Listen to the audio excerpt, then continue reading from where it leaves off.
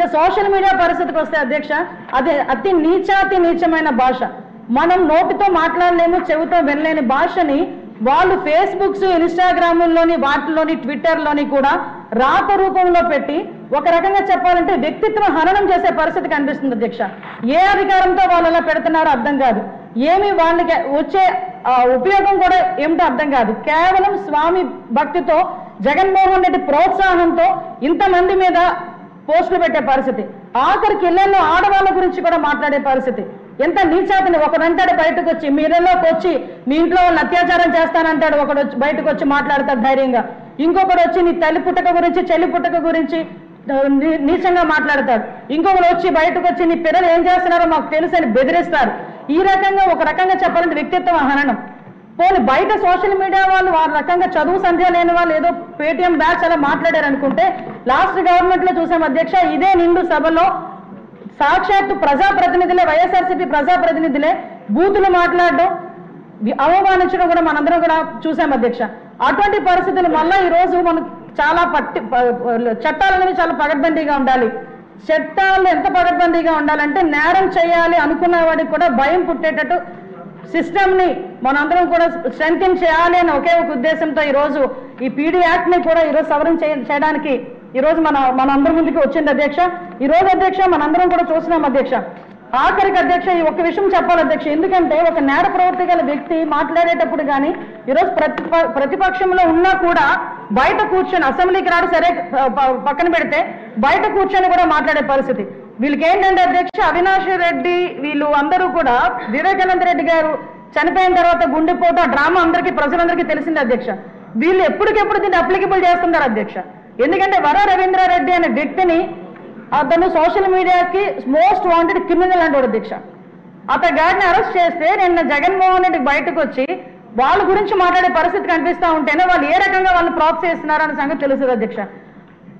మన ఎలక్షన్ అయిపోయిన తర్వాత ఎన్డీఏ గవర్నమెంట్ వచ్చిన తర్వాత ఇదే వర్రా రవీంద్రారెడ్డి హ్యాండిల్ నుంచి వీరే పోస్టులు పెట్టి ఎవరో వైజాగ్లో ఒక అమాయకుడిని బలి చేసిన పరిస్థితిని కూడా ఈ రోజు మీ దృష్టిలో పెడుతున్నాను అధ్యక్ష. ఎందుకంటే క్రైమ్ని ఇంత దారుణంగా తీసుకొచ్చారు. ఇకపోతే సైబర్ క్రైమ్స్ విషయం గురించి వస్తే మన అకౌంట్లో డబ్బులు ఉంటే రేపు ఉదయం ఉంటాయో ఉండవు కూడా తెలియని పరిస్థితుల్లోని సైబర్ క్రైమ్ కూడా అంత ఎక్కువగా ఉండడం వల్ల రీసెంట్గానే గౌరవ ముఖ్యమంత్రి గారు సైబర్ క్రైమ్ విషయంలో కూడా ఇంతకు ముందు ఒక మూడు పోలీస్ స్టేషన్స్ ఉంటే ఈ రోజు ప్రతి జిల్లాకి కూడా ఒక సైబర్ క్రైమ్ పోలీస్ స్టేషన్ని ఏర్పాటు చేయాలని చెప్పి ప్రతిపాదన చేయడం కూడా జరిగింది అధ్యక్ష. ఒకటి అధ్యక్ష ఈ రోజు ఎటువంటి వ్యవ- ఈ వ్యవస్థ నిర్వహణ చేసే పరిస్థితి పరిస్థితులు రాకూడదు. ప్రజలందరూ కూడా శాంతి భద్రతలతోని చక్కగా ఉండాలని ఒకే ఒక ఉద్దేశంతో ముఖ్యంగా అన్నిటికీ దేశమైన గాంజాయిని అరికట్టే విషయంలోని కూడా అధ్యక్ష గౌరవ నిర్ణయాలు. సబ్ కమిటీని ఏర్పాటు చేయడం అదేవిధంగా నార్కోటిక్ టాస్క్ ఫోర్స్ ఏర్పాటు చేయడం దాని క్యాబినెట్ అప్రూవల్ కూడా అయింది అధ్యక్ష. రేపో మాకు జీవో కూడా వచ్చి దానికి సెపరేట్ వింగ్ కూడా ఉంటుందని ఇందాక కూడా ప్రశ్నోత్తరాల సమయంలో సభ ముందు కూడా పెట్టడం జరిగింది అధ్యక్ష.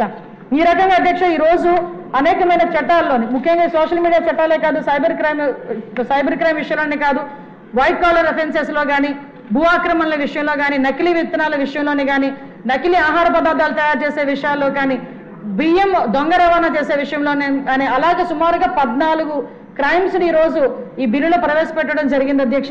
ఇంతకు ముందు ఆరు బిల్ ఆరు క్రైమ్స్ వరకు ఉండేవి ఇప్పుడు సుమారుగా పద్నాలుగుని మనం ఇక్కడ ఇందులోని ప్రవేశపెట్టడం జరిగింది. దీని ద్వారా ఈ యాక్ట్ ద్వారా అధ్యక్ష ఎందుకు ఈ యాక్ట్ గురించి మాట్లాడుతున్నాను అధ్యక్ష? ఈ సందర్భంలో ఒక విషయం చెప్పి నేను ముగిస్తాను అధ్యక్ష.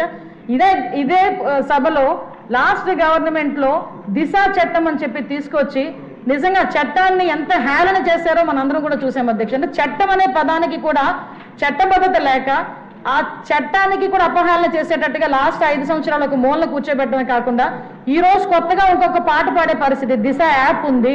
దిశ యాప్ ఉండి ఉంటే కనుక ఇలా జరిగిపోయేది అని చెప్పి వేరే పాట పాడే పరిస్థితి అధ్యక్ష. అని నిజంగా ఏదో అంటారు మనసు ఉంటే మార్గం ఉంటుందని.